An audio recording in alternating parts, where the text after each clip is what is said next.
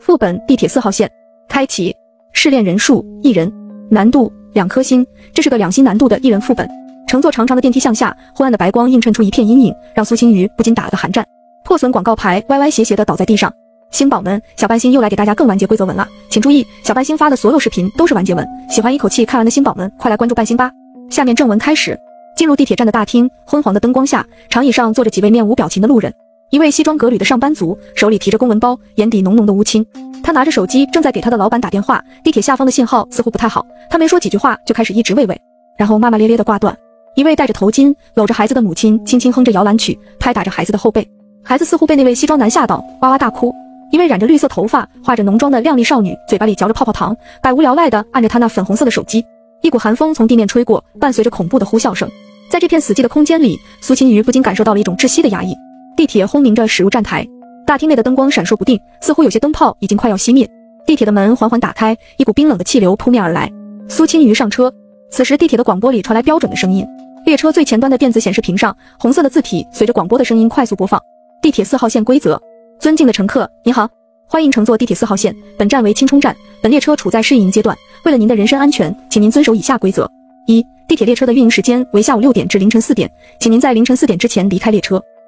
地铁四号线没有月光殡仪馆站，如果您不小心从此站下了车，请等待下一班列车的到来，切记千万不要离开站台。三、千万不要在地铁上主动与乘务员交谈，当乘务员主动与您交谈时，您可以向他们求助。如果他们拒绝您的求助，您可以在下一站下车，并在大厅使用公共电话拨打投诉热线，投诉热线为十三万一千三百一十三。四、如果您在地铁上遇到戴着小丑面具的男人，请转移视线，不要与他们有任何交流。五、地铁列车上的座位顺序是固定的，第十三个座位永远保持空着。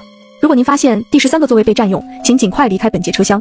六、列车上手机信号会时断时续，当信号突然消失时，请不要试图与外界取得联系，更不要试图发送自己的位置。七、列车每站停止时间为三分钟，如果本站并非您的目的地，请在列车驶离前及时回到车厢。八、当列车驶入隧道时，您可能会听到奇怪的低语，请尽量保持冷静，不要回应这些声音。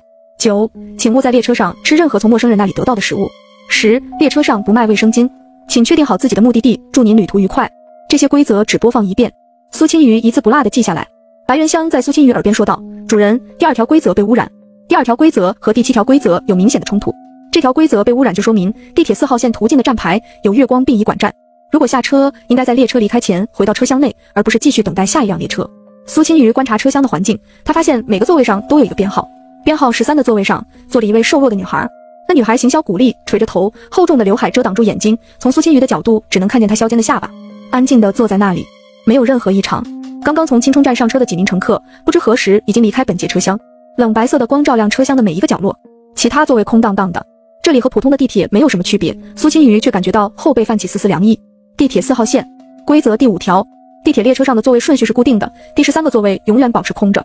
如果您发现第十三个座位被占用，请尽快离开本节车厢，除非规则里明确提到让失恋者去接触诡异，其他情况下远离是最正确的选项。苏青瑜迅速离开本节车厢，穿过车厢的时候，迎面走过来的乘务员故意碰撞苏青瑜的肩膀，然后站在原地笑着望着苏青瑜。乘务员穿着黑色制服，他定定地站在那里，似乎是等待苏青瑜说话。苏青瑜掠过乘务员，进入一节新的车厢。抱孩子的母亲、拿公文包的男人和绿色头发的潮流少女都在此节车厢。有了孩子的啼哭与母亲温柔的安慰，这节车厢里的冷意减少。苏青瑜看向本节车厢编号为十三的座位，那里空空如也。放下心来，苏青瑜坐在抱着孩子的母亲附近空位上。这个角度看不清孩子的脸。列车开始启动，苏青瑜看着列车上写的三十多站，开始思索自己的目的地。那母亲侧过头，笑着问道：“小姑娘，你到哪一站下车呀？”列车的站台里没有天府临城站，也没有红苹果马戏团站。广播里规则的最后一句话是确定好目的地，而列车途经的站台没有苏青瑜要去的地方。苏青瑜没有直接回答那位母亲，而是反问道：“阿姨，你呢？在哪一站下车呀？”那位母亲目光慈爱，似乎是亲吻着自己怀中孩子的额头，轻声说道：“我的孩子生病了。”我要在妇幼保健院那一站下车。绿色头发的潮流少女看了过来，她嘟起嘴巴，吹了一个泡泡，泡泡炸裂，又继续咀嚼。少女问道：“你们坐地铁的时候买票没？我怎么没看见进站口？”苏青瑜摇了摇头：“我既没有买票，也没有过安检，下了电梯之后就直接到了地铁站台。我好像也是这样。”西装男后知后觉。对了，咱们市里有地铁四号线吗？一时间，车厢里的所有人都陷入了沉默。苏青瑜穿书而来，没几天就诡异复苏了。他对这个世界的交通线路并不熟悉。潮流少女耸了耸肩，说不定是最近开通的呀。现在到处都在修地铁，让乘客们免费体验也没什么。西装男也是连连点头。刚刚我听见广播里说什么地铁试运营。此时，苏青瑜的手机传来语音电话的铃声，头像是骆子轩。此时手机的右上角显示还有信号，苏青瑜按下绿色的接通键。骆子轩熟悉的声音从电话那头传来，他语气有些焦急：“苏青瑜，这么晚了，你和庄小蝶怎么还不回寝室？”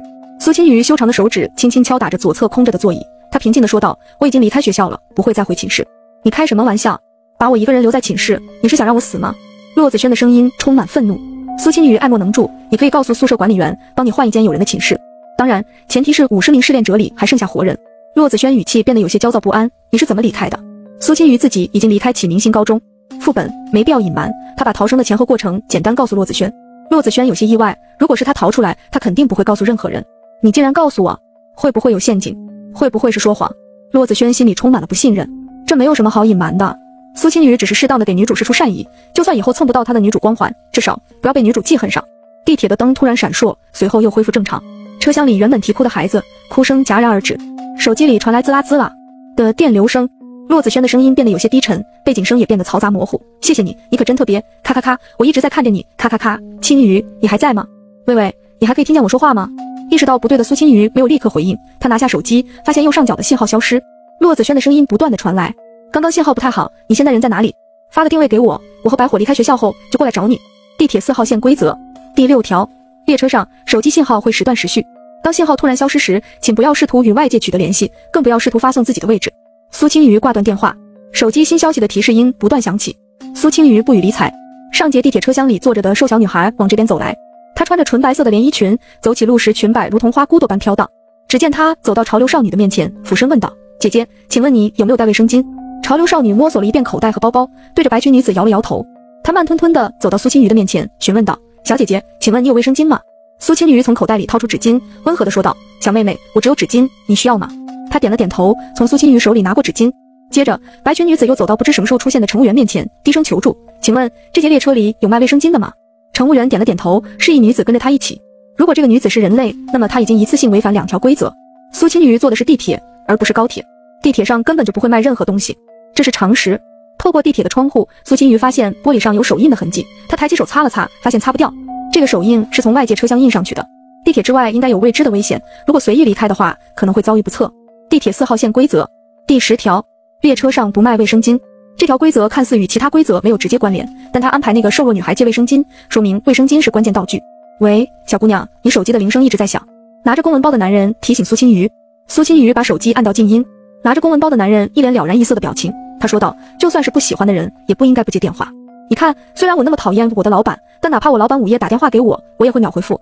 苏青瑜不接电话，不是因为他讨厌骆子轩，而是现在的手机没有信号。此时，刚刚带那个小女生离开的乘务员出现。乘务员穿着整洁的黑色制服，领带系的笔挺，那副小丑面具色彩鲜明，混合着鲜红、蓝色和白色。面具上的眼睛部分被剪得很大，可以清晰的看见乘务员泛着红色诡异光芒的眼睛。小丑的嘴巴画着极度夸张的笑容，弧度高过脸颊。乘务员竟然戴上小丑的面具。他走到苏青鱼面前，戴着白色的手套，手掌心处放着苏青鱼刚刚给白裙女生的纸巾。只听乘务员说道：“那个女孩子没有用完，她让我帮忙还给你。”苏青鱼接过剩余的纸巾，点了点头。乘务员继续说道：“这位乘客，你买票了吗？地铁四号线规则第三条前半部分和第四条，千万不要在地铁上主动与乘务员交谈。当乘务员主动与您交谈时，您可以向他们求助。如果您在地铁上遇到戴着小丑面具的男人，请转移视线，不要与他们有任何交流。当乘务员戴起小丑面具的时候，这两条规则就是冲突的。”面对乘务员的问题，苏青鱼没有直接摇头，他盯着乘务员脸上的面具思考片刻，伸手快速将乘务员脸上的小丑面具拿下。乘务员的脸露了出来，他眼里的红光逐渐熄灭。苏青鱼这才放心的回答乘务员的问题：“我和这边的几位乘客都是从青冲站上车的，那一站没有闸机和安检，所以没有买票。”乘务员皱着眉头，坐地铁并不是免费的，没有车票，就算你可以上车，也没有办法下车。那我应该怎么补票呢？乘务员从苏青鱼的手中拿回小丑面具，却没有立刻戴在脸上。他只是木着一张脸，语气毫无波澜地说道：“站点的服务中心可以办理补票手续，你可以在下一站下车补票。是每个站点都有吗？我必须要在下一站补票吗？”乘务员毫不留情地说道：“没错，所有没有车票的乘客必须尽快补票，否则的话，请立即下车。”我知道了。这节车厢除了他一开始在广播上听见了规则，肯定还存在其他规则。苏青瑜看向地铁上途经站点的指示灯，指示灯亮着，表示已经经过的站点；指示灯闪烁，表示已经到达的站点。未到达的站点不亮灯。苏青瑜看见下一站是月光殡仪馆，地铁四号线规则第二条，地铁四号线没有月光殡仪馆站。如果您不小心从此站下了车，请等待下一班列车的到来，切记千万不要离开站台。白元香已经告诉他这条规则被污染，而从规则本身也可以判断出矛盾。既然月光殡仪馆不存在，列车就不应该停靠，更不存在下车。如果下车选择等待下一班列车，苏青瑜也不可能在三分钟之内就回到车厢。苏青瑜在仔细回想这条规则，当时是广播播放规则的时候，车厢前端上方的显示屏也同频率滚动规则，一个是地铁四号线，一个是地铁四号线。此时广播声再次响起：月光殡仪馆已到站，请下车的乘客从右侧开门处下车。此时地铁两侧车门同时打开，右侧的车门外漆黑一片，左侧的车门外灯光通明，有来来往往喧闹的乘客。苏青瑜看见庄小蝶站在外面对着自己招手，这一切都是他的小伎俩。抱着孩子的母亲，拿着公文包的男士都从左侧车门下车。那位母亲还催促苏青鱼：“小姑娘，动作快一点，地铁停站的时间只有三分钟。”而苏青鱼从右侧车门下车，走进黑暗之中。他眼前一黑，然后他出现空无一人的站台。地铁补票窗口位于站台层的一角，与自动售票机和闸机区相邻。窗口外墙涂着沉稳的深蓝色，上面用醒目的白色字体写着“补票窗口”四个大字。窗口由一块厚实的玻璃隔开，玻璃上方有一个小口，用于工作人员与乘客交流。窗口内部空间狭小整洁，桌面上摆放着电脑和打印机，墙上挂着各类表格和文件夹。身穿黑色制服的工作人员戴着一副眼镜，脸上是标准的八颗牙笑容，他的表情僵硬，笑容如同焊在脸上一般。苏青鱼注意到女人脖子上挂着的牌子，上面写的职位是乘务员。这个女人是乘务员，在补票窗口兼职。苏青鱼谨慎以对，她没有说话，而是拿起窗口外面摆放着的告知牌，指着上面补票两个字，然后递出一百冥币给那位工作人员。那个女人笑容更夸张，已经露出上下牙龈。苏青鱼又敲了敲补票，两个字。三分钟的时间非常紧迫，女人慢悠悠地说道：“电脑坏了，没办法补票。”而苏青鱼看见电脑明明是正常开机的状态。地铁四号线规则第三条：千万不要在地铁上主动与乘务员交谈。当乘务员主动与您交谈时，您可以向他们求助。如果他们拒绝您的求助，您可以在下一站下车，并在大厅使用公共电话拨打投诉热线，投诉热线为十三万一千三百一十三。苏青鱼看见窗口不远处的台面上放着一个白色公共电话，他直接走过去拨打投诉热线。窗口的女人脸上笑容瞬间消失，露出不甘心的表情。电脑恢复了，我给你补票。此时时间已经过去两分钟，苏青瑜没有时间陪他磨叽，他手握着电话，用不可以商量的语气说道：“冥币已经放在台面上，先帮我把票补好，我才会放下电话。”补票员一脸不甘心的敲打电脑。补票员把车票从窗口递出来，苏青瑜拿过车票，直接从最近的列车门飞速跑进去。后面的补票员木讷的数着硬币，对苏青瑜离去的背影说道：“这位乘客，请稍等，我给您找零，你自己留着花吧。”苏青瑜头也不回的冲进车厢。这是第一节车厢，临近列车头。这节车厢里坐满身穿黑色衣服的列车员，密密麻麻，笔直的坐着，双腿并拢，双手搭在腿上，眼睛直视前方，极具压迫感。只是扫了一眼，苏青瑜向另外一节车厢快速奔跑，位置全部坐满。那么本节车厢第十三号座位肯定被占用。此时地铁的大门缓缓关闭，苏青瑜前脚跑到另一节车厢，后脚就看见刚刚车厢里的乘务员齐刷刷的站起来开始工作。透过地铁的车窗玻璃，苏青瑜看见刚刚的补票员一脸失望的看向列车里的自己。苏青瑜继续往后面的车厢走，地铁的车票是绿色的，上面没有显示下车站点是哪里。苏青雨把车票揣在口袋里，找到熟悉的车厢坐下来。此时，乘务员正在和其他几名乘客攀谈，抱着孩子的母亲正在低声哭泣。他对乘务员说：“我的孩子病情加重了，这里离妇幼保健院还有多远的路程？”乘务员伸出两只手，手掌竖起，示意还剩下十站路程。母亲埋着头开始哭泣。此时，苏青雨的手机铃声再度响起，此时的手机信号已经恢复，来电显示是庄小蝶。苏青雨犹豫片刻，挂断电话。他点开 VX 聊天记录框，发文字消息给庄小蝶。苏青鱼接电话无法看见信号是否存在，我们打字。庄小蝶啊，我终于联系到你了，我还以为手机不能用呢。刚刚下电梯的时候，我发现你不见了，小心肝碎成八块哦。苏青鱼，别发这些，直接说正事。庄小蝶，嗯，我在地铁四号线里，刚上车的时候，规则是用广播播放的，速度太快了，我没记清楚。苏青鱼，我把我听见的规则发给你，你回忆一下和你听见的是否相同？记住，不要盲目相信我发的东西，你要有自己的判断。苏青鱼把规则写成文字发送出去，就算是名称相同的规则怪谈，规则内容也可能会不同。庄小蝶和苏青鱼都在地铁四号线，他们却不会相遇。很快，手机信号又消失。轰隆隆，列车驶进漆黑的隧道，隧道仿佛一条黑色的巨蟒，正在吞噬这辆行驶的地铁。车厢内的倒影与窗外的黑暗交织在一起，苏青鱼不自觉地将目光收回，避免看向窗外。地铁四号线规则第八条：当列车驶入隧道时，您可能会听到奇怪的低语，请尽量保持冷静，不要回应这些声音。隧道内回荡着地铁轰鸣的声音，明明是嘈杂的环境，却能听见窃窃私语，仿佛就在耳边。只见拿着公文包的男人紧张的耳朵贴近地铁车厢的墙壁，他试图分辨出这些低语的来源，却又恍若不见。你们有没有听见奇怪的声音？拿着公文包的男人还在向众人询问。我听见了，我也听见了。陆陆续续有人回应。苏青瑜沉默不语。车上的人虽然表面上是正常人，但是他们都在有意无意的勾引苏青瑜触犯规则，不可以回应男人。男人的声音可能属于这些低语的一部分。有人碰了碰苏青鱼的肩膀，单独问他：“你听见了吗？你是不是也听见了？”苏青鱼咬紧牙关，不发出任何声音。列车在隧道中缓慢行驶，时间仿佛变得漫长无比。此时，苏青鱼感觉到有人往他的手心里塞了一张纸条，前方是刺目的白光，列车驶离隧道，进入新的站台。苏青鱼看向坐在自己身边抱着孩子的母亲，母亲对他露出好看的笑容，然后眼神落在苏青鱼手中的纸条上，示意他查看。打开纸条，上面是手写的潦草字体：“和我们一起下车吧。”母亲和孩子的下车地点是妇幼保健院。苏青雨把纸条塞进口袋里，那位母亲冲他友好的微笑。苏青雨抿唇，这是什么意思？难道是要自己和他一起在妇幼保健院下车？规则里说让他确定好自己的目的地，这个目的地会是妇幼保健院吗？一切都还需要观望。苏青雨黑发如瀑布般落在纤细的肩膀上，她觉得自己掌握的信息太少，便起身离开座位，主动探索车厢。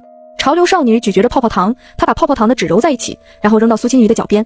苏青雨将纸团捡起来，纸条里写着：“不要相信那对母子，他们已经死在隧道里。”苏青雨皱眉，她疑惑地看向潮流少女，潮流少女却像什么都没有发生过一样，低头听歌玩手机。还是先搜寻车厢。穿过车厢，苏青雨在最后一节车厢的座椅底端找到一张夹着的纸条。这节车厢原本是空着的，但苏青鱼弯腰捡纸条的时候，她发现连排座椅的位置突然多出一双脚，那是女子的脚，穿着红色凉鞋，脚后跟悬空。苏青鱼立刻站起身，那穿白色连衣裙的女子又出现在最后一节车厢第十三号座位上。她抬手冲苏青鱼打招呼，厚重的刘海遮住女子的眼睛。苏青鱼离开这节车厢，但还站在那女子可以看得见的位置。地铁的灯光开始闪烁，随后广播传来地铁故障的消息。冰冷的机械因无感情的播报：“亲爱的乘客，因信息设备故障，四号线列车将有延误。目前技术人员正在进行处理，预计延误十分钟，请乘客耐心在车厢等待。”灯管爆炸，车厢陷入一片漆黑。苏青鱼在黑暗里听见脚步声，那是高跟鞋的鞋跟踩在地板上的声音。苏青鱼屏住呼吸，因为突然从光明陷入伸手不见五指的黑暗，他的双眸还没有适应。他握住地铁中间的扶手，心跳加速。只听耳边传来一股冷气：“姐姐，你咔咔咔捡我扔掉的纸条做什么？”声音不是从一个方向传来，而是从四面八方传来，散着的、破碎的呢喃落在苏青鱼的四周。一瞬间，苏青鱼觉得全身每一个毛孔都炸开，冰冷的寒气顺着皮肤爬进骨头之间的缝隙。是那个白衣女子追过来了。苏青鱼迅速冷静下来，从背包里拿出手电筒。这是无限走廊副本里获得的诡异道具。手电筒打开，白色的光束射出，照亮车厢。这里没有人。刚刚那位白衣女子不见了。苏青鱼打开手中的纸条，里面鲜红的字歪歪斜斜写着：“救命！”白衣女子是在向他求救吗？十分钟后，苏青鱼站在过道处，地铁车厢的灯光逐一从远到近亮起。每亮起一节车厢，苏青鱼都可以听见一声清脆的啪嗒声，就像是有什么东西按开关的声音。那冰冷的白光仿佛是从列车头扑过来，一寸一寸扩大。除最后一个车厢的地铁因为灯管爆裂，其他车厢的灯光均亮起。令人感到奇怪的是，明明最后一节车厢相邻的车间灯光明亮，那黑暗仿佛从过道处切割下来一般，任何光源都透不过去。苏青鱼用手电筒照，手电筒的光进入黑暗就消失不见。最后一节车厢宛如黑洞，吞噬一切光明。地铁的广播再次响起：“尊敬的乘客，月光殡仪馆已到站，请下车的乘客从左侧开门处下车。”怎么又是月光殡仪馆站？苏青雨眉头微皱，双眼盯着列车上的路线图，试图捕捉一闪而过的怪异感。不对，刚刚他补票的那一站就是月光殡仪馆站，并且上次广播提示是从右侧车门下车，这次是左侧。和上次一样，右侧的车门外漆黑一片，左侧的车门外灯光通明，乘客都挤在各个地铁门口排队。他们所有人都不玩手机，而是直直地望向前方。苏青鱼不准备在这一站下车。地铁门打开的时候，那群人乌泱泱地进来，他们见到空位就会坐下。苏青鱼发现人多的时候，他们会坐在十三号座位上，顿感不妙。如果每节车厢的十三号座位都坐上人，苏青鱼插翅难逃。地铁四号线规则第五条：地铁列车上的座位顺序是固定的，第十三个座位永远保持空着。如果您发现第十三个座位被占用，请尽快离开本节车厢。这里的占用不仅仅只坐人，被放上东西也属于占用。苏青雨心生一计，白火在启明星高中副本里送给他的黄符还在背包里，幸好没扔。他拿出黄符，果断贴在第十三号座位背后的列车玻璃上。这样做不属于占用座位。一个正准备往这座位走过来的乘客瞬间停下脚步，面色扭曲，转身去了其他座位。不仅第十三号座位没人坐，临近的座位也空着。苏青雨微微勾起唇角，果然有用。毕竟对于乘客而言，如果一个座位后方的车窗玻璃上面糊了翔，正常人都会选择远离，哪怕座位本身是干净的。此时，西装男突然从其他车厢找过来，他径直走向苏青鱼，语气焦急地问道：“你补票吗？”“补了。”西装男的黑色眼珠同时转动，转动的轨迹很奇怪，一个往左转，一个往右转。他伸出手给我看看。苏青鱼自然不会把车票从口袋里拿出来，他警惕地反问道：“你的车票补好了吗？你要在哪一站下车？”西装男四肢瘦弱，他脸颊凹陷，肚子却有些膨胀，撑得西装扣子最底下一颗爆开。只见他看向第十三号座位上贴的符咒，然后面露嫌弃的神色：“我在职教城站下车，你要和我一起下车吗？”苏青鱼摇头，西装男继续说道：“你可以看看你的车票，上面会有你的目的地。”苏青鱼态度冷淡地说道：“这是地铁车票，不是高铁车票，上面没有目的地。”西装男的死死地盯着他。此时，西装男的手机铃声响起，他接通电话，态度突然变得卑微起来，一口一个老板。的叫着，走到其他车厢去开始汇报工作内容。而潮流少女穿过车厢，路过苏青瑜的时候，又在她的口袋里塞进去一张纸条。随后，潮流少女走进最后一节黑暗的车厢，整个人被吞入黑暗。苏青瑜从口袋里拿出纸条，指尖将纸条慢慢展开，里面写着：“不要相信西装男。”难道绿色头发的潮流少女是好人？苏青瑜自然不会轻信任何人。地铁到达下一站，依旧是月光殡仪馆站。不同于之前两次，这次没有广播提示音，只是两侧车门打开，右侧车门外是黑暗，左侧车门外灯火通明，却没有乘客。苏青瑜觉得有必要下去探查一番。他双眸如同平静没有波澜的深潭，他权衡片刻后，对一直跟随在自己身侧的白元香说道：“帮我下去探测一下月光殡仪馆站的站台，然后两分钟之内回来。”好的，主人。白元香从右侧地铁门下车，苏青雨有些紧张地看着白元香的贡品卡，很好，没有破碎，这就说明右侧地铁门是正确的选择。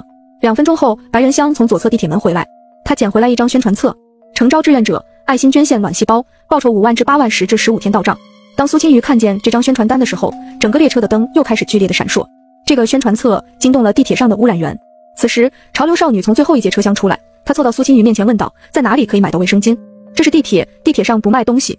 潮流少女再次回来的时候，她绿色的长发宛如水藻，只见手里拿着三样东西：一瓶红色的饮料，一瓶蓝色的饮料和一片橘子皮。橘子皮就是晕车药。这两瓶饮料是什么东西？竟然和启明星高中副本里优等生和差等生在早读期间需要喝的饮料很像，液体在透明的玻璃瓶里泛着异样的光彩。苏青瑜先把这些东西递给白元香检查。等白元香检查无误之后，苏青瑜把橘子皮放在鼻子下面，轻轻地嗅着橘子清凉的味道。随着头脑的清醒，车厢里的灯似乎比刚刚明亮些，她身上的污染减轻了。潮流少女面无表情地对苏青瑜说道：“最后一个车厢穿白色裙子的小姐姐很感谢你今天的帮助，她问你愿不愿意去她家做客。A 级通关方式：获得乘客的感谢，并获得乘客邀请回家做客的机会。离开的路似乎已经摆在眼前，胜利的曙光就在前方。”苏青瑜并没有因即将通关而感到兴奋，她神情淡淡然，看着黑漆漆的车厢，污染和黑暗中为一体。你们一起下车，在哪一站？是的，我们一起。潮流少女抬手指着地铁上的路线图，我们会在大学城站下车。你要是想和我们一起，可以来最后一节车厢找我们。苏青瑜将剩余的冥币递给潮流少女，潮流少女捧着冥币没有离开。上面的话是受她的限制，潮流少女在副本里需要做的事情，而接下来的话是潮流少女自己的意图。他定定地站在原地，咔咔咔，想要和我签订契约吗？已经拿到报酬，潮流少女说话又变成了原始的模样。嗯。潮流少女歪着脑袋，黑漆漆的眼睛宛如黑洞。她重复问道：“你咔咔咔，想要和我签订契约吗？我知晓四号线列车上每一个站点通往的地方。契约之后，你每问我一个问题，只需要付出一百毫升的鲜血。只是鲜血不会伤害到肢体的完整，那可是很小的代价。”《惊悚降临》这本小说里提到过，如果试炼者得到诡异的认可，就可以和诡异签订契约，付出一定的代价，然后驱使诡异。代价可以是鲜血，可以是四肢，可以是内脏，而所有的代价都可以用冥币豁免。苏青鱼微怔，他竟然得到了潮流少女的认可，果然是超能力。地铁四号线只是二星难度的副本，副本里诡异也分强弱之分。潮流少女显然并不强，她怨气太弱。苏青雨已经契约了双喜、吴昕、白元香。面对潮流少女的邀请，苏青雨摇头拒绝，不需要。如果是最后一节车厢里坐在十三号座位上的白裙女子问她这个问题，她说不定会答应下来。潮流少女似乎是有些惋惜，她站在原地不肯离去。从她出现开始，她就一直徘徊在地铁四号线列车里，重复自己生前的行为。不停的上车下车，重复这些行为。如果幸运的话，他可以获得乘客的血肉。他被饥饿感占据，没有活人的血肉，他就会溃烂。这个副本需要他，他却不是不可替代的。他见过无数惊慌失措的失恋者，他们大多数都会死在这辆列车上。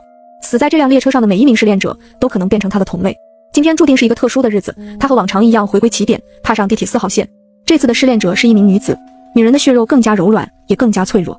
一般等到乘务员要求检票，差不多就是收工的时候。而这次的试炼者竟然下车补票了。不仅如此，试炼者还弄到了卫生巾，获得白裙女人的信赖。白裙女人可是列车诡异之中是最厉害的存在。潮流少女想，这次的试炼者与众不同，好像没那么容易被吃掉。不仅如此，她掏出好多冥币，她一定很强。潮流少女觉得，如果自己可以跟着苏青鱼，一定顿顿都能吃饱。她身后不就跟着一个同类吗？那个同类和自己也差不多。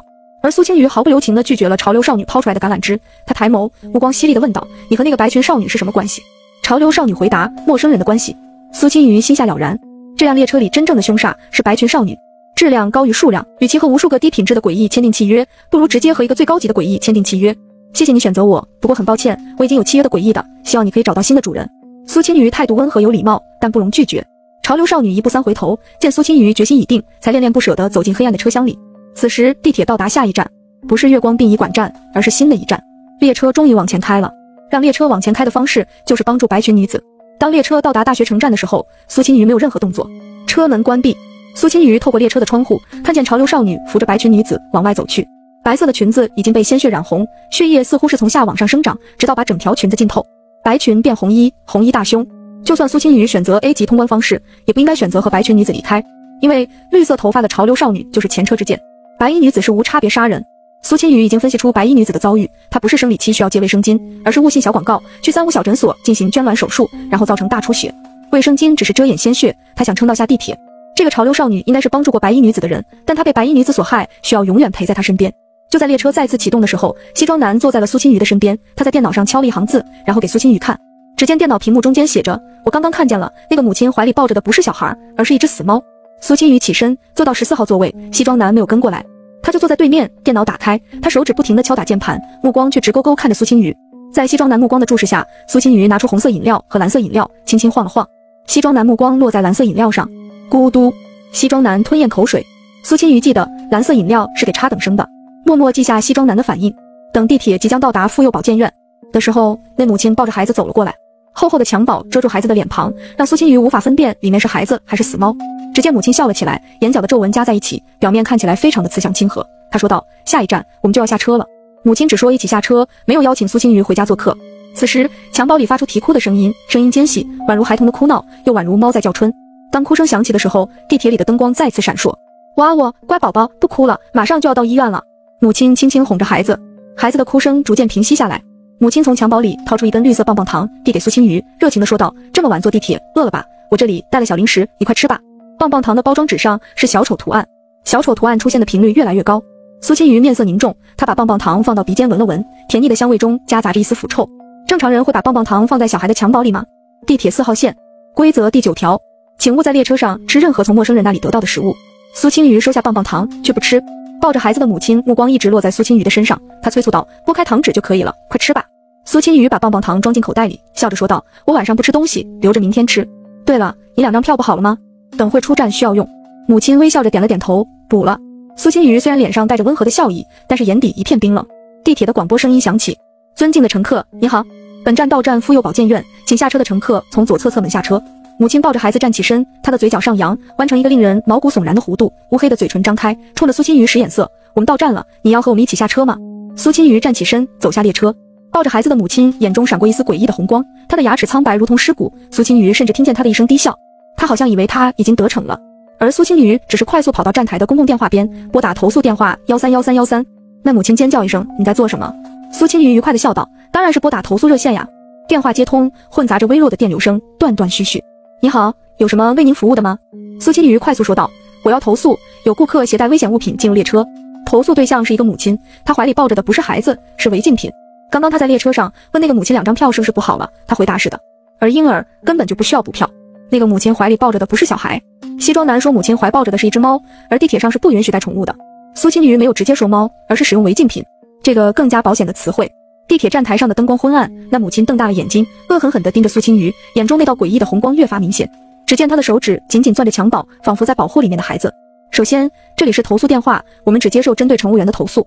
其次，我们的地铁每一站都会进行安检，安检员会检查出所有的违禁物品。进站的乘客身上不会有任何违禁物品。苏青瑜立刻换一种说法，那我投诉乘务员没有及时处理乘客携带的违禁品，并且有一站没有安检口，那就是青冲站。电话那头的声音平静的宛如机器人，请问您在哪个站台？我们会立刻派人过去。苏青瑜回答：“我在妇幼保健院站。”抱着孩子的母亲声音变得越发恐怖，似乎来自深渊。你竟然敢叫来！咔咔咔！乘务员，他的半个脑袋塌陷下来。苏青瑜挂断电话后，迅速跑回列车上。西装男就站在列车门口，阴恻恻地说：“我没有骗你吧？”苏青瑜看着西装男，微微点头。在此刻，站台传来了脚步声，一对穿着制服的工作人员抓住那个母亲，从她的怀里抢过襁褓。襁褓里果然是一只死去的黑猫，黑猫的肚子被针线缝起来，剖开肚子，里面装满了棒棒糖。潮流少女说地铁故障时，她看见母亲抱着孩子，试图从隧道离开，理由是为了给孩子看病，内心焦急，不想再等。当时地铁广播说过，故障只需要十分钟抢修时间，选择急匆匆抱着孩子离开，而不是等地铁恢复到达站点，只说明一件事情，那就是没有孩子生病这件事情。此时地铁广播响起：尊敬的乘客，请勿携带违禁物品上车，违禁物品包括尸体、违禁药品、爆炸物。同时，苏青瑜的手机收到一条新闻。近日，警方查获一批运输违禁药品案件，一中年妇女将违禁药品制作成棒棒糖，缝进死猫的肚子里，伪装成婴儿混入地铁。同样的日期，却是三年前的新闻。此时，苏青雨只觉得口袋里的棒棒糖很烫手。西装男的肚子似乎越来越鼓，只见他从包里拿出三明治往嘴巴里塞，一边吃一边对苏青雨说道：“你要吃吗？”“不用。”西装男似乎只是客气一下，他吃完后用油腻的舌头舔着手指，然后神秘兮兮地说道：“再过几站就到职教城了，我要下车，你没有什么话想和我说吗？”苏青鱼坐到西装男的身侧，把新闻给他看，他脸上的表情没有任何变化。拜拜，慢走，一路顺风。苏青鱼不准备使用 A 级通关方式通关副本，我们会再见面。西装男怪异的笑起来，他的牙缝里还夹着西红柿的皮。西装男帮他解决怀抱孩子的母亲带来的污染，不代表西装男就是好人。在刚上地铁的时候，西装男就试图误导他，规则不重要。已经下车的潮流少女在纸条里写过，西装男不值得信任。列车到达直教城站，西装男下车。当列车再次启动，从隧道穿过的时候，一暗一明，整个车厢里所有的乘客全部消失。现在只剩下苏青瑜一人。轰动轰动，地铁的齿轮摩擦着轨道，伴随着车身的抖动和灯光的闪烁，陌生的乘务员突然出现在苏青瑜面前，手里拿着闪着红光的棒子，对苏青瑜说：“请配合检查违禁物品。”苏青瑜站起身，乘务员似乎是势在必得，用那泛着红光的棒子在苏青瑜的身侧扫来扫去，没有变色，没有提示音，乘务员脸上是木讷的表情。苏青瑜低头看着自己的指甲，唇角泛起若有若无的笑，漫不经心地说道：“建议你检查一下从职教城站下车的西装男，他的公文包里很可能有违禁品。那根棒棒糖。”苏青瑜已经不动声色地塞进西装男的公文包。乘务员一言不发，转身离开。当苏青瑜说完这句话不久，没有信号的手机跳出来新闻：一男子因工作压力过大卧轨自杀，造成地铁故障。新闻底下还配了一张图片，生命支离破碎、血肉模糊地散布在冰凉的铁轨上。穿着西装的男人身体分成几段，躺在地铁的轨道上，大部分皮肉都已经被压成肉末。笔记本电脑飞在站台上，成为碎片。这不重要，重要的是站台。站台的墙壁上是脱落的瓷砖和早已褪色的海报，海报上写着“职教城正在建设新兴商业区”。墙壁上还被红色的油漆大大的写了一个“拆”字，一个临时拦住通道的警示标志摇摇欲坠，上面写着“禁止通行”几个大字。这个站台里的一切都散发着不祥的气息。至此，苏青雨理了理之前发生的事情。判断出，只有和白裙女子和潮流少女离开才是正确的 A 级通关方式。抱孩子的母亲与西装男都是干扰选项，他们会邀请失恋者跟随他们，但不会邀请失恋者回家做客。剩下的站台不多了，时间也已经来到了凌晨一点。时间每过半个小时，车厢的灯就会熄灭一盏。苏青鱼需要不停地往车头部分前进，黑暗正在一节一节吃掉车厢。最接近车头的车厢里面坐满了乘务员，等走到那一步就没有回头路。苏青鱼掏出自己的地铁票。规则的结语里说，请确定好您的目的地，祝您旅途愉快。可是没有任何线索指向目的地。地铁站一站一站的过去，车站外的景色变得越来越模糊。每进入一节新的车厢，都会有乘务员放下手中的工作，抬起头，面对标准的笑容问候他：不下车吗？快到终点站了，不下车吗？试运营时间要结束了，不下车吗？这个方向不会有新的乘客再上来了。这个方向，灵光一闪，苏青瑜翻看着手机，明明没有信号，新消息提示却在不断的响起。整个手机界面都是新消息的红点，有骆子轩发来的消息，也有庄小蝶发来的消息，里面的内容无一例外都是诱惑苏青瑜对外发送定位。没有线索，随意下车就是找死。叮咚，又是新消息顶了上来。苏青瑜皱着眉头看着手机里的头像，竟然是甜蜜的家，副本里的奶奶。他的手机里什么时候加了奶奶？头像上的奶奶脸上皱纹重重，眼睛凹陷，花白的，头发长而蓬乱。全新的聊天对话框弹了出来，那是一张医院病房的照片。病床陈旧而生锈，床单上沾满了污渍和黑红色的液体。病床旁边摆放着陈旧的输液架，上面挂着滴答作响的点滴瓶。奶奶，乖孙女儿，有时间来医院看望一下奶奶，奶奶很想你。苏青鱼一阵恶寒，她不再看手机，以免又看见什么牛鬼蛇神发过来的新东西。地铁的终点站幸福之门到达，当门打开的时候，苏青鱼已经被逼到第二节车厢，后面所有车厢的灯泡都已经破裂，只留下黑暗的甬道，不停地灌着凉风。灯光似乎被蒙上了一层黑色的纱，车厢里寂静无声。苏青瑜就坐在位置上。现在的时间是凌晨两点，还有两个小时是运营的时间才结束。车厢的门打开，两侧都是光明的，光明到极致，和黑暗无差别。皆是眼盲，看不清外面的景色。下车，不下车，这是生与死的抉择。低头看着手表，三分钟滴答滴答过去。当地铁门再次关闭的时候，广播声音响起：乘客规则，尊敬的乘客，你好。欢迎乘坐地铁四号线，本站是起点站幸福之门，请牢记您的身份，并遵守以下规则：一、地铁列车的运营时间为下午六点至凌晨四点，请您在凌晨四点之前离开列车。二、十三是今天的幸运数字，地铁列车上的座位顺序是固定的，如果您发现第十三号座位空着，请勇敢的坐下。三、作为一名文明的乘客，请不要在列车上大声喧哗或者接打电话，如看见其他乘客有不文明行为，请不要阻止，那是乘务员的工作。四、您的目的地是阳光大街，请不要在其他站台下车，更不要接受其他乘客的邀请。五。请妥善保存好您的车票，不要和任何人提及到你的目的地。祝您旅途愉快。选择不下车是正确的。这里的规则不是写在纸条上，而是通过广播播出。地铁不分车头和车尾，当地铁往一个方向行驶的时候，行驶的方向是车头，那么另一方就是车尾。而到达终点站的时候，终点站就会是新的起点站，车尾会变成车头，车头会变成车尾，这是常识，也是试炼者容易落入的陷阱。试炼者搜寻列车后找不到新的规则，就可能误以为之前听到的地铁四号线规则是完整规则，没有线索，没有规则指引，失恋者很可能在最后的终点站搏一搏，选择下车，到时候等待失恋者的就是违反规则。不安、未知最容易使人犯错。之前一路上没有目的地的线索，再加上时间的逼近，会给试炼者的心上造成很大的压力。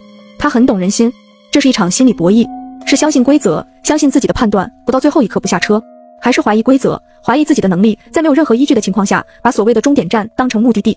其实答案很简单，试运营时间只要没有结束，苏青鱼待在列车里就是相对安全的，只要相信规则就可以了。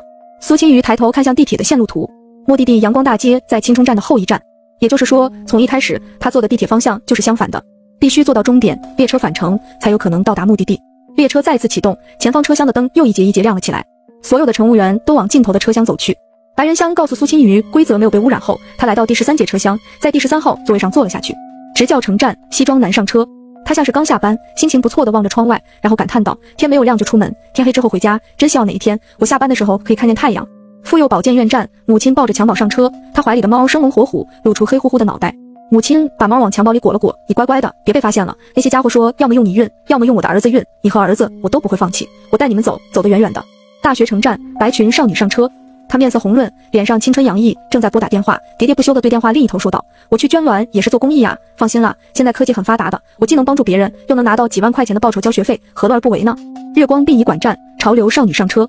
他嘴巴里嚼着泡泡糖，正在低着头打游戏，一边玩还一边和连线的队友说着。陆建不平一声吼：“该出手时就出手，你先跑，我来断后。”苏青雨只是坐在自己的座位上，对发生的一切都冷漠以对。车上这么多空位，白裙少女却偏偏走到苏青雨的座位前。哎，我的幸运座位今天没有了。白裙少女很失望。苏青雨似半开玩笑的说道：“老黄历说今天诸事不宜，只适合回家睡大觉，不适合出门。”白裙少女瞪了他一眼，说了句没礼貌，然后跑开了。西装男笑出声来，他看着苏青鱼说道：“你刚放学吧？现在的学生可真够辛苦呀。”苏青鱼胡说八道：“我逃学出来的，晚上好爬墙跑路。”西装男一愣，苏青鱼伸了一个懒腰，带着几分慵懒。天下优秀的人这么多，多我一个不多，少我一个不少。再说了，我要是累死了，家里会难过的。这话夸张了。西装男低头，不知道在思索些什么。潮流少女打游戏输了，她痛苦地捶了捶胸口，然后放下手机骂了句：“垃圾游戏，毁我青春，败我钱财，不玩了。”输了。潮流少女发现苏青瑜在和她说话，愣愣的点了点头。苏青瑜笑盈盈的问：“怎么输的？”潮流少女没好气的说道：“就队友，结果是葫芦娃这爷爷去一次送一次，那就别救了。”苏青瑜意有所指：“有些人不会谢你，只会拖着你一起去死。”潮流少女似懂非懂的点点头。随着每一站的到达，仿佛时间在回溯，黑暗的车厢一节一节变得明亮，直至恢复成最开始的模样。凌晨三点十三分，到达阳光大街站，苏青瑜下车，地铁站内游荡着许多乘客。那些乘客见到苏青瑜下车，纷纷凑过来。一个老太太颤巍巍地走过来，丫头，你知道这一站的名字吗？我老眼昏花，看不清楚。地铁站这么大的牌子看不见，那么响亮的广播听不清。倒是苏青瑜没说话，她就能分辨出苏青瑜是个小女生。乘客规则第五条，请妥善保存好您的车票，不要和任何人提及到你的目的地。苏青瑜没有理睬在站台上搭话的任何人。到达地铁检票口，苏青瑜将车票塞进机子里，检票口的灯光由红色变成绿色。苏青瑜达到 S 级通关标准，从地铁四号线。副本正确的目的地下车，活着走出两星规则怪谈。出地铁的第一件事情，苏青瑜就给庄小蝶发短信，把自己如何通关的方式告诉庄小蝶。消息发出却没有回应。苏青瑜要拿出在启明星高中副本里体育老师送给他的柳叶，放在唇边吹响。他不会吹什么曲子，只会最简单的小星星。清亮的声音回响在地铁站的门口，而平行副本里正在瑟瑟发抖的庄小蝶听见声音，双眸泛起亮光，宛若星辰闪烁。这是当年他教苏青鱼吹的第一首曲子，而苏青鱼也只学会这一首。庄小蝶紧紧地握着拳头，她一定要活着离开，不能让苏青鱼伤心。苏青鱼离开地铁站后，夜幕早已降临，突如其来的暴风雨吞没了城市的喧嚣，豆大的雨点砸在苏青鱼的身上，她湿漉漉的黑发贴着皮肤，虽然狼狈，但没有畏首畏尾，而是仰着头，冷静地走在风雨中。街头巷尾变得阴暗而诡谲，仿佛被无尽的污染蚕食。路边的垃圾箱被风吹得发出嘈杂的声音，小巷里的路灯忽明忽暗，昏黄的光线勉强洒在湿漉漉的地面，泥泞的水坑映出扭曲的光影。漆黑的角落里，窃窃私语的声音随风传来，让苏青瑜心生寒意。不远处的废弃工厂，破碎的玻璃窗在风中摇曳。沿着小径，穿过荒废的公园，那里被暴风雨摧残得更加凄凉，只剩下破旧的秋千在风中无助地摇晃。四周弥漫着冰冷的水汽和死寂。这里不是副本，缺了无声气。突然，从雨幕中破空而出的一辆红色轿子，突兀地停在了苏青鱼的面前。那轿子的红色显得格外鲜艳，与这阴沉的夜晚形成鲜明的对比。抬轿子的是两名面色青紫的男人。嘴唇乌黑，双眸空洞，一看就是诡异。轿帘飘动，露出一道缝隙，双喜的声音从轿子里传了出来：“主人，奴婢接您回家。”